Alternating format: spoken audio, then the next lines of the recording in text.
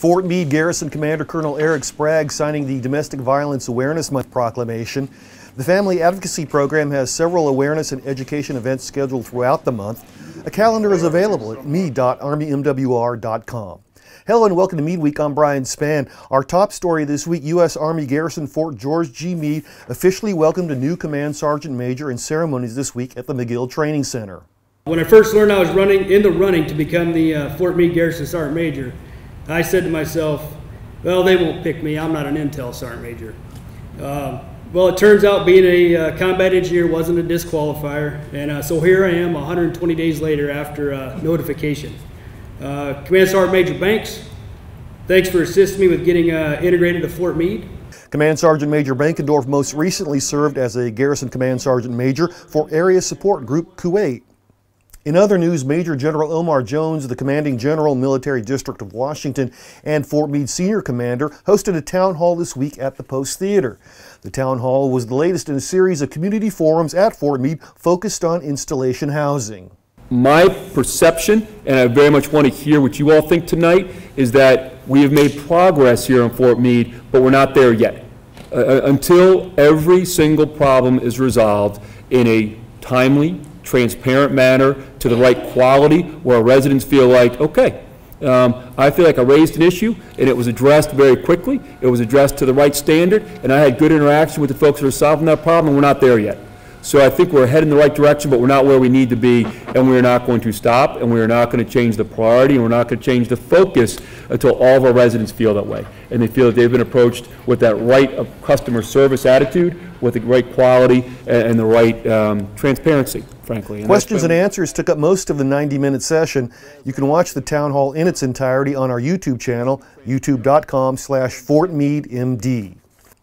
Elsewhere, Security Force Assistance Brigades, or SFABs, are brand new units being stood up in the Army. Specialized units that work with partner nations to help them increase their capability. The first stood up in February 2018. Currently, there are six SFABs, five active duty, and one National Guard. A team of SFAB recruiters visited Fort Meade earlier this month to make their pitch. Being the Chief's number one priority gives us certain privileges, ability to move people around our Army that you don't see in other units. So, what does that mean? YMAV, time on station, DROS, none of that matters when it comes to volunteering for the SFAB. Okay? If you volunteer, you can be signing into Fort Meade day one today. Raise your hand. If we select you and bring you to the SFAB, we can PCS you out of here in less than 90 days. Okay, SFABs are not special forces. Uh, we're not competing with special forces. We're not stealing their mission. Uh, the truth of the matter is, we work with the uh, conventional side of our partner nation force. They work with the special operations side. There are also benefits to serving in an SFAB, including retention bonuses and special duty pay. More information can be found at goarmy.com. Tis the season for Fall Fests. Fort Meade's Morale, Welfare, and Recreation Division staged what they hope to be the first annual Artisans and Ales Festival last weekend at Burba Lake.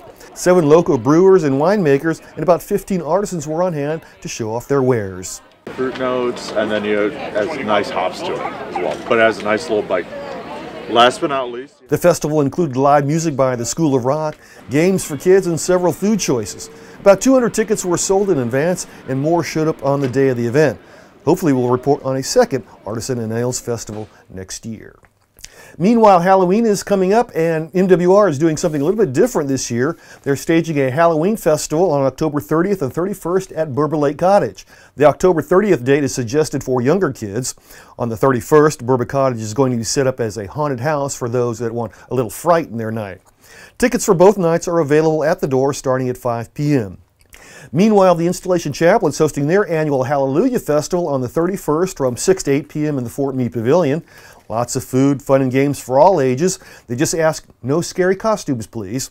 And that's Meade Week for this week. I'm Brian Spann. For everyone at Meade TV and the Fort Meade Public Affairs Office, have a great weekend and a great Meade Week. USO Metro supports our military and their families in the National Capital Region. Our mission is to strengthen America's service members by keeping them connected to family, home, and country. USO Metro is there with a place to relax and enjoy a snack assistance as they travel home or into harm's way, comfort as they heal from wounds or recover from illness, and reassurance as they transition back into civilian life. Visit us online at usometro.org.